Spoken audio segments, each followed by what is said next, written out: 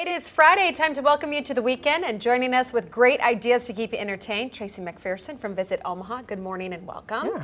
We have Railroad Days this weekend. Yep, it's become an awesome tradition in our community. One family pass gets you into five attractions.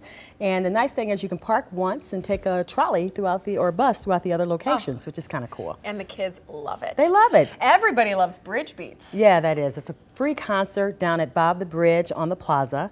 Bring your blanket, bring your lawn chair. Um, they have a lot of different groups lined up this year, so a lot of different genres to accommodate any generation, so that'll be fun. There'll be food trucks available, so yes, you can come to this concert hungry and get fed.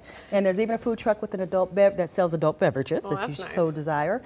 The tip for this one is you might want to bring cash because Okay. not all the vendors accept credit cards. Oh, all right. So know that. And you can also bring your four-legged family member. Well, that's Pets nice. are welcome. Well, that's good. And uh, speaking of animals, Douglas County Fair. Oh yeah, now this is a great opportunity for small kids to see livestock. Yes. If you've never been to a farm. So that's pretty cool.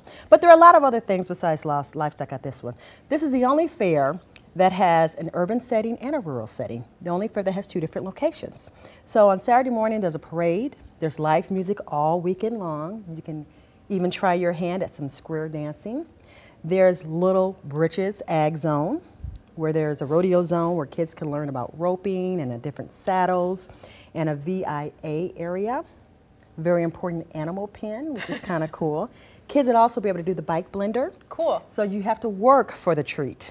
you have to do a little work, exercise, and then you have a nice uh, blended drink at the end of that. There's going to be a cowboy super horse competition.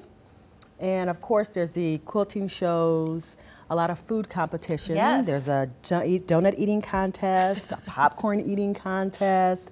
You can't go wrong. Skills of all kind. You Oh, said yes. two locations. We have Village Point and Chance Ridge and Elkhorn. That's right. Okay, Yep. great. Visit Omaha has several things going on this weekend you should check out. If you missed anything, don't worry, it's online, ketv.com. Tracie, thanks for being here with us this morning and welcome to the weekend.